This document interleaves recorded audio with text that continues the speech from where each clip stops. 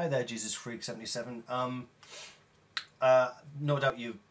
been fairly inundated with uh, messages and stuff today uh, with regards to um, VenomFangX, um, not just removing his website but his YouTube channel and all of that. And um, I just wanted to say that uh, I think it's very unfortunate that um, yet again um,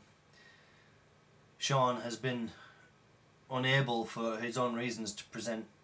evidence of the fact that he believes these these threats um, are coming to him from Muslims. Um, you can probably understand there are quite a lot of us out there who feel that this is just another one of his excuses um, and that the real reason that he's had to take down his site and so on uh, is because of the um, the fact that he was soliciting charitable donations despite that he wasn't a registered charity and that he, he, he wouldn't disclose how much he was going to be how much he was taking in um, and so it's probably rather more to do with legal advice that his parents have received on his behalf than, than any um, threat. I'm not saying there isn't a threat, I'm just saying that there's no evidence of a threat that we've seen thus far. Not that it's anything to do with me, I'm just uh, observing from the outside as I have done for the past couple of years. And I'm sure that even though you're his friend, you must agree with me and a lot of other people out there who were saying that he had this coming. Um, he, he was warned on numerous occasions that he was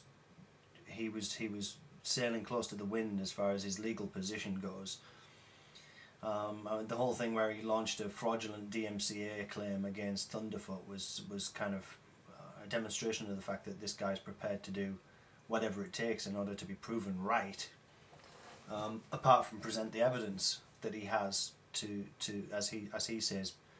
um, that that he says proves that things like evolution and um,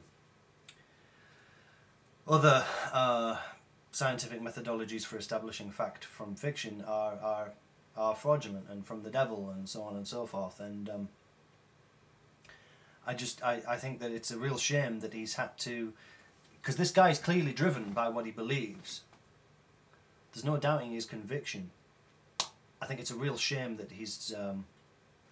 he's he's gone down um, an entirely inappropriate route towards um, broadcasting his beliefs,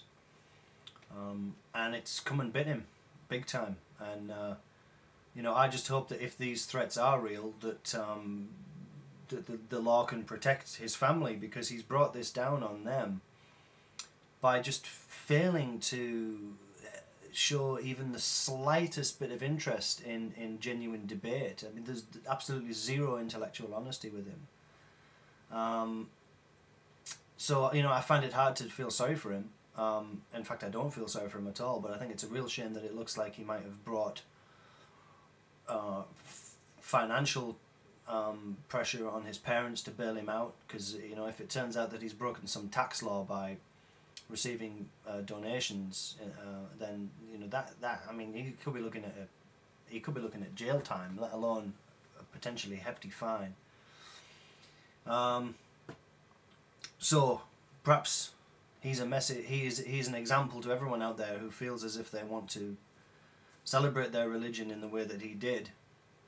Uh, to always make sure that you back up your claims with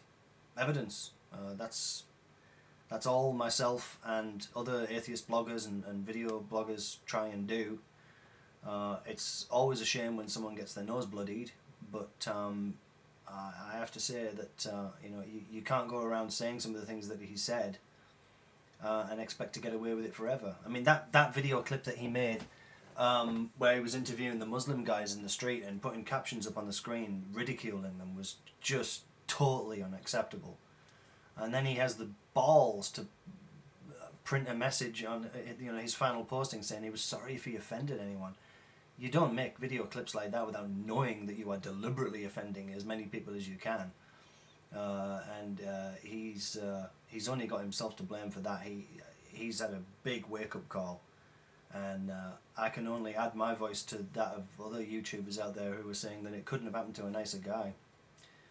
So, anyway. Um, I'm sure you won't pass any of these messages on to him. Uh, it probably you know it's probably the last thing he wants to hear right now anyway um, he's he's never shown any interest in the truth before so I don't see why he's going to start now but um,